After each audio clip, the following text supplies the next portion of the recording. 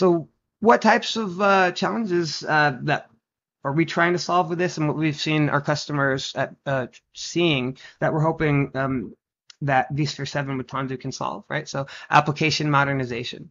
We need infrastructure that can deliver support can, from being able to run containers, right? Uh, but also have the organiza- the operational management, have the, vi- the, ability for IT operations to be able to look into those containerized workloads through familiar tool sets and have uh, robust monitoring and troubleshooting tools to be able to ensure that these services can be delivered uh, in an automated fashion and can be maintained, lifecycle managed, and supported reliably. Right? We need uh, these to be delivered in a cloud-like way, right? Because we understand the consumers.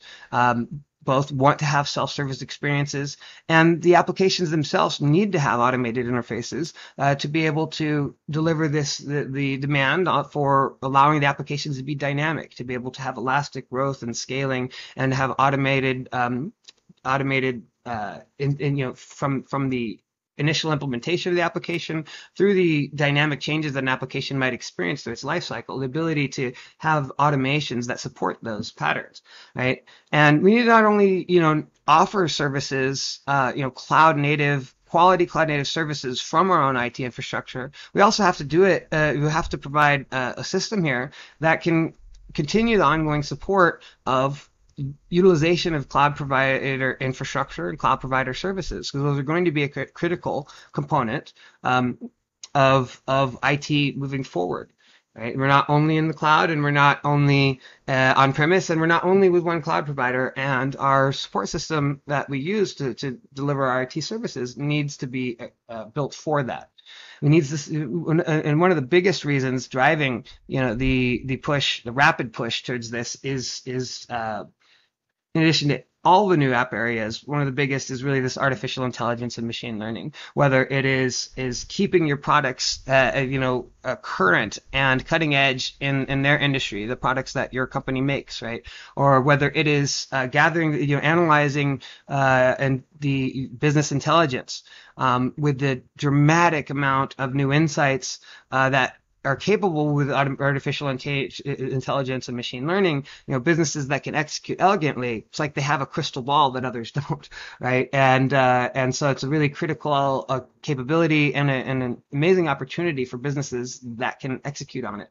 But you can't execute with these patterns elegantly with legacy technologies. You need a platform that can run new cloud native technologies, right? Um, data security. So on one hand, you know, one of the things that has slowed container and cloud native adoption for enterprises is making sure that the, the container environments had as much security, right? Because on one hand, um, a lot of uh, there's a lot of ways you can deploy containers today and Kubernetes that do not meet enterprise security requirements, right? On the other hand, there's also a, a, tremendous amount of new opportunities in cloud native patterns to, to solve a lot of so many of the, the huge well-known challenges we've had with legacy infrastructure right? So on one hand you know we need to make sure that we can uh, we do this in a way that really does deliver the enterprise capabilities uh, at a minimum. But really to do this right, we need to to take advantage of the fact that this is new. There's new cloud native patterns. We have so many more new possibilities now to take security to the next level on how we deploy containers. And really, that's uh, you know the basis. Uh, these these are several of the key areas that went into our decisions into bringing um, Tanzu and Kubernetes into vSphere 7 we're seeing new application development patterns from if you're using uh, say Microsoft Visual Studio and you you get the newest versions and you go to deploy, you know to build a new app and you go to do that you're going to see you know all the the new uh, new templates that they have in there. They're all, they're mostly for container application development, right? And if you're using IntelliJ Studio, if you're using Tomcat, if you're using if you're Java development, if you're C, if you're Scala, regardless of, of what tool sets you're you're using, all of these are built uh, now for uh, for a more dynamic integration with infrastructure, right? And and so um, historically, you know application developers didn't always get a say. They didn't get a self-service. They didn't get a environment that they could dynamically compose themselves. And that's not just changing because application developers, you know, want to be spoiled. It's because it's the nature of what we all have to support as businesses to be able to remain competitive, right? To be able to use new generation of technology. And so we we have uh, we see from like this, this example from 451 research uh, that application development uh, they're starting to take a much more proactive role um, with with trends like continuous integration and continuous deployment. It's really needed to be able to have uh, this type of uh, infrastructure that can satisfy the the, the actual uh, legitimate needs of of the modern developer developer.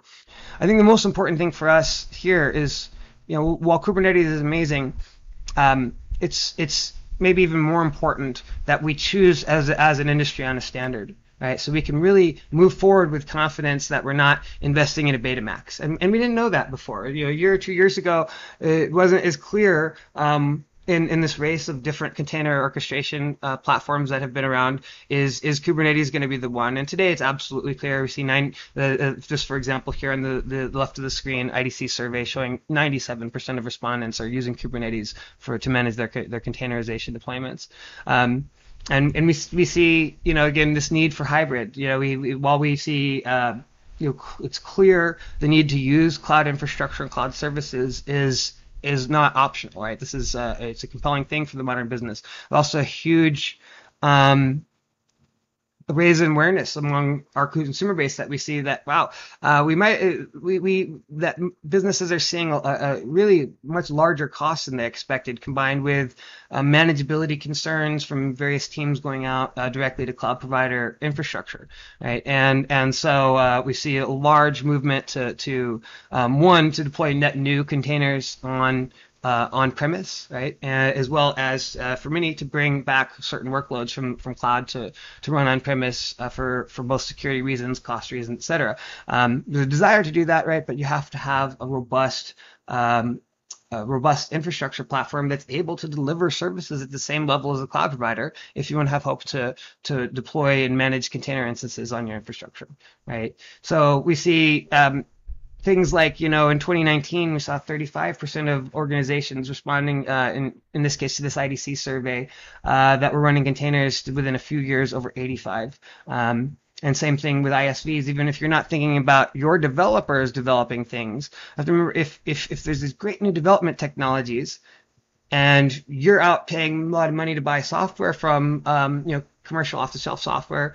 Uh, ideally, it would make sense. I would love for my the software that I'm paying for to come with the latest, greatest capabilities, right? And you think a lot of times now you're paying for software, and then you're spending a large amount of money and and and, and very complex efforts to try to do things like make it automatically deploy and automatically scale through you know having uh, your own IT staff trying to write a lot of scripts and automations for these, and it's it's incredibly expensive and, and difficult and and uh, uh, often doesn't work well, right? Well, Kubernetes Kubernetes delivers the capabilities to where an independent software vendor can just out of the box deliver their apps with automated DNS injection, automated firewall uh, rule um, um, delivery that just integrates into your into your infrastructure from the application uh, definition itself, automating the uh, the setup and, and the adjustment of the load balancer as, as the app- application may adjust its its own behavior dynamically. Right, just, Kubernetes uh, delivers the capability to where when you purchase the same application, same vendor, if it's prepared in that way, you get all of that additional efficiency and automation that can just come with it. So there's a massive,